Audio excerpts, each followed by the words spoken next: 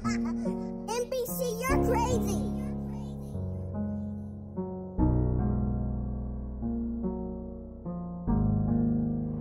Abdul got them keys.